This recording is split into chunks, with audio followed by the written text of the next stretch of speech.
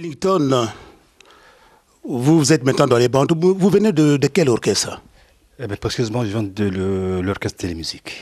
Ah, vous aussi, vous étiez avec les Roger Picou, les, les, les Simon Mangwani, les Nelly Okemba, avec les Muchachos. Muchacho et Melongui, même Balou Conte qui est en France, c'est euh, enfin, nous, Balou Conte et moi, nous sommes presque les cofondateurs de.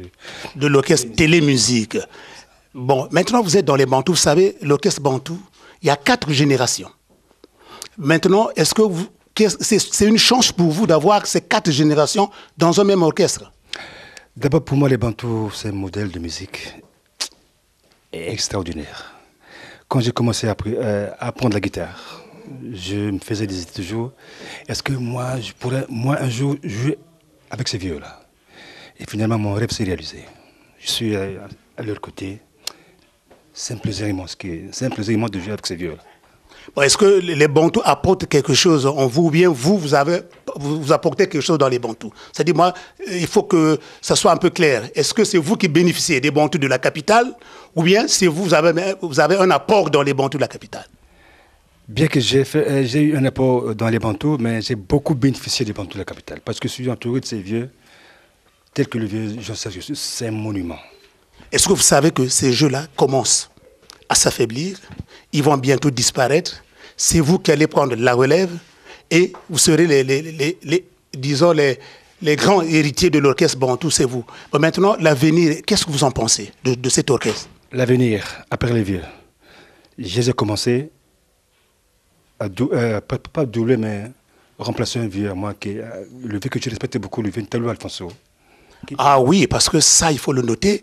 Taloulou Alfonso, en ce qui concerne la salsa, je ne sais pas s'il y a un deuxième bassiste au Congo. C'était le meilleur.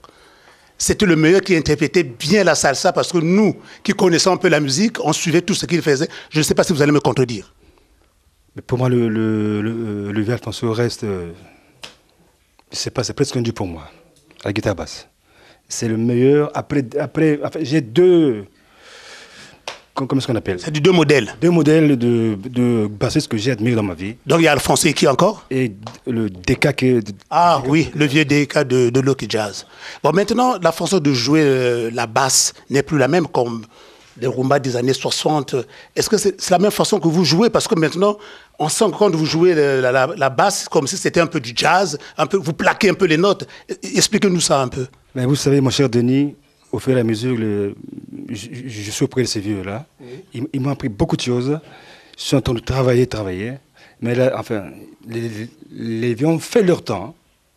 En ce moment, la, la- la musique évolue. Donc, il faut maintenant aller au, au rythme de, la- de la musique actuelle. Oui, c'est-à-dire euh, apporter des notes particulières. C'est ça, mon cher Denis. Mais moi, vous m'avez épaté la fois dernière quand nous- nous étions à Pontoise. Je vous ai écouté sérieusement. J'ai même dit à Dédé, mais vraiment, Ellington, c'est pour la première fois que je le vois. Mais vous avez euh, une beauté terrible. hein.